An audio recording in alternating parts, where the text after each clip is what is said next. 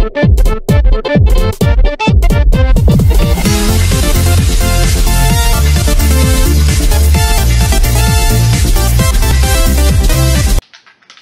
yesterday was pretty damn eventful.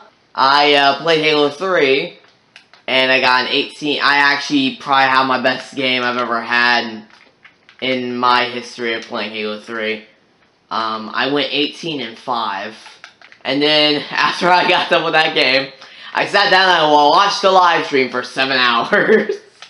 yeah, and also, as I'm on the topic, might as well, um, congratulations to Brian Gaines for surpassing finally, after like a year for surpassing his longest live stream um, in his channel's history. Great job, man. You did. You did excellent. You and Michael both did amazing. So, uh, props to both of them. Hey! Fuck off, kid! Papa's got a new Banshee. La la la la la la. Do a barrel. Damn it!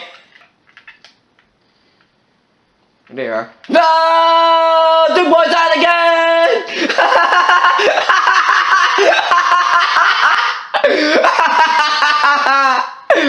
that was amazing!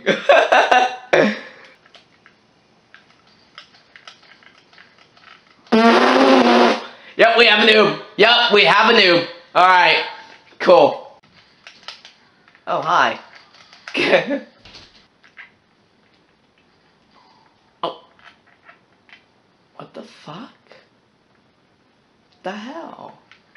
And why wasn't that betray? Why was that like a Steve-O killed me? Did not deserve that kill. The fuck? That was kind of weird. I love having the noob on the air team. It's it, it, it gives me free kills. I love it. Die! Bam! Not so popular now, are you, bitch? I'm on late. Get the fuck out of here. I'm awake, bruv! I was just getting berries. I'm awake, don't worry. Because you're popular? Is that it? I think that might be it. I think it's because he's popular, guys. That's why he's hiding up there. I think it's because he's popular. I'm gonna hide up here and camp here because I'm popular. Hi.